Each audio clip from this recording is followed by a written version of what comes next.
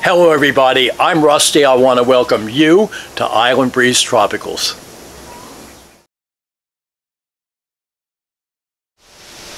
So just recently, a subscriber to the channel by the name of Vernon wrote in and asked the question, how do you tell the difference between a vining philodendron and pothos? So today we're going to go up on the plant deck and we're going to go take a look and see if we can figure it out. So you know the sun is shining, the island breeze is blowing. It's time that you and I got growing. Come on, let's have some fun. So we're up on the plant deck today and we're going to try and tell the difference between two types of vining aroids.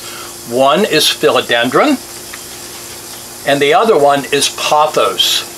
Now these two are very, very similar, not only in shape and size and color, but they also grow about the same way.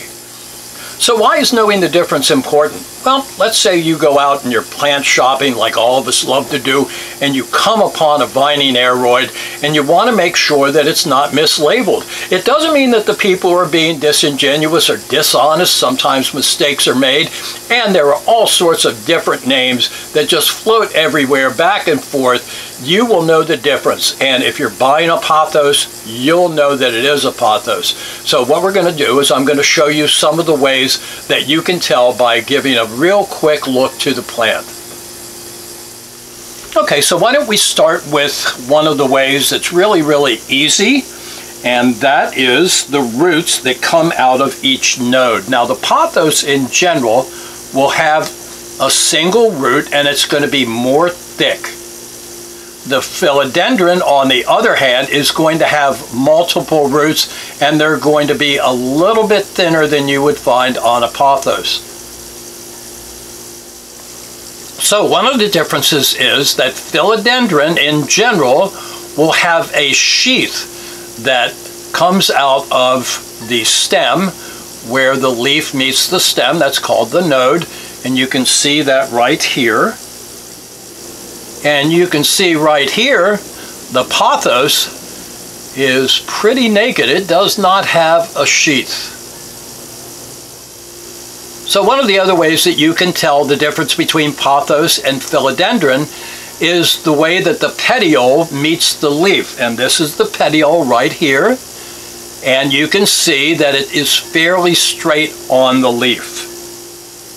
Whereas you can see in this philodendron, by the way, this is called Brazil, you can see that the leaf is pointing downwards so it all depends on how the leaf is situated, where it meets the petiole. And again, the philodendron points downward. And you can see that the pothos points fairly flat and perpendicular to the petiole.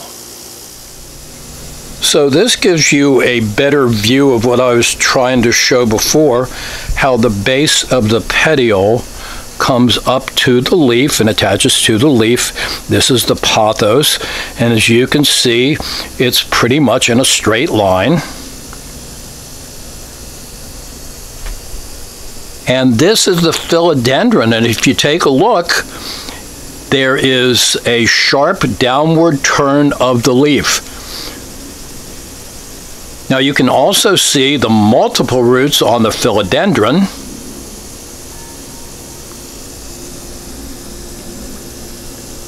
and the relatively larger single roots that come out of the pothos. Okay, so this next difference may end up being a little bit of a stretch, um, but uh, I'm going to try and make it so that you can see this leaf and in general, the pothos leaf is going to have uh, little bumps in between the veining of the leaf. So the pothos, take my word for it, has little bumps in between the ridges of the veins and maybe you can see it in the light. I know it is a bit of a stretch and it's hard to show it to you. Believe me, it's true. If you wet the leaf down, you can uh, really, really see the difference. And sometimes you can see the little bumps and protrusions uh, in the pothos leaf underneath of the leaf. Okay, so this is Brazil. Uh, again, a philodendron, a vining philodendron, and um, you can see that, yes, it does have creases, but if you take a look at the creases, um, there are no bumps and ridges in between um, the veining of the leaf. I know, this is a stretch, guys, but you're just going to have to take my word for it. So this last difference is going to be an even greater leap of faith on your part, but take my word for it. Uh, the pothos leaf is, uh, in at least relative to the philodendron, is thicker and more waxy, where the philodendron is a much thinner leaf and not we're not satin, not quite as waxy as the other. It certainly is thinner. If you take a look, you can see right there in profile that that is a lot skinnier than than the pothos leaf. So okay guys, that's about it. Pretty easy, isn't it? And I hope you've learned the difference between pothos and philodendron. So you know what? I hope wherever you are, your sun is shining, you have an island breeze blowing, keep on growing, have some fun. Thanks for stopping by, and I'll see you next time.